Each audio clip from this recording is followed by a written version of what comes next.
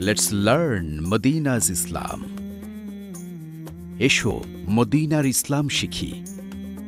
কুরআন ও সহি সুন্নাহের পথে জীবন গড়াই হোক আমাদের অঙ্গীকার।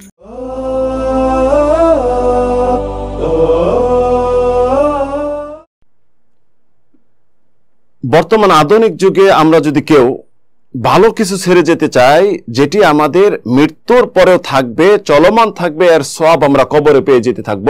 এটি হলো এলেম, প্রচার এবং প্রসার করা।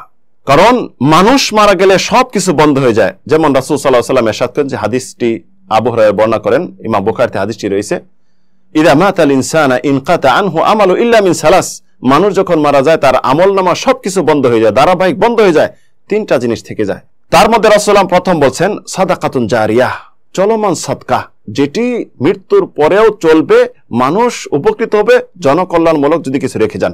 দ্বিতীয় যেটা হলো আউ এলমিন ইনতাফাবিহি এমন এলেম, বিদ্যা, শিক্ষা, যেটি আপনি সেরে গেলেন, প্রসার করে গেলেন, প্রচার করে গেলেন আউ ওয়ালাদুন সালিহন এদুল্লাহ তৃতীয় যেটি বললেন, সুসন্তান, সৎ সন্তান যেটি আপনার জন্য মৃত্যুর পরে দোয়া করবে। এখন সবচেয়ে উল্লেখযোগ্য এখানে যেটা রয়েছে আউ এলম আউ এলমিন ইউনতাফাবহি এমন এলেম, এমন বিদ্যা যেটি মানুষ উপকৃত হবে।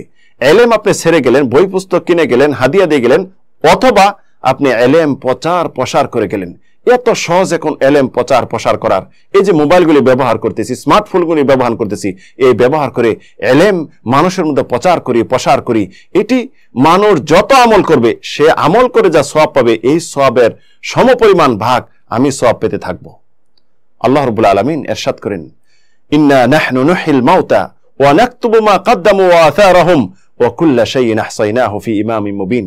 আমি করে জীবিত এবং তারা যে আগে প্রেরণ করে গেল, আগের কাজগুলি করে প্রেরণ করল, পাঠাইলো, মৃত্যুর পূর্বে এটাও আমি লিখে রাখি ও আথারাহুম এবং যেটা তারা ছেড়ে গেল, এটাও আমি লিপিবদ্ধ করে রাখি এবং প্রত্যেকটি আমি স্পষ্ট কিতাবে লিখে রাখছি।